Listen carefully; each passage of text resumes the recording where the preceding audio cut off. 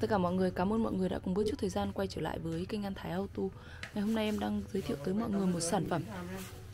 À, Đó là chính là công tắc pha cốt của à, công tắc tổng hợp pha cốt với cả gạt mưa của xe à, Su 5 tạ.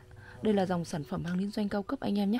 Về à, cấu tạo của dòng sản phẩm thì à, phần công tắc này và phần điều chỉnh là như ABS cao cấp bằng phía bên trong làm bảng điện đấy để điều khiển công tắc gạt mưa và công tắc pha cốt xi nhan theo ý muốn.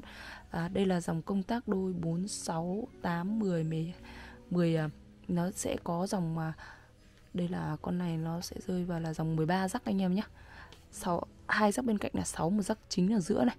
Đấy. Đây. Đây là à, được test rất là cẩn thận trước khi mà chuyển tới tay anh em nhé. Anh em mà quan tâm tìm hiểu tư vấn về sản phẩm thì hãy liên hệ với em theo số 0769086333 hẹn gặp lại mọi người trong những video kế tiếp. Em xin chào.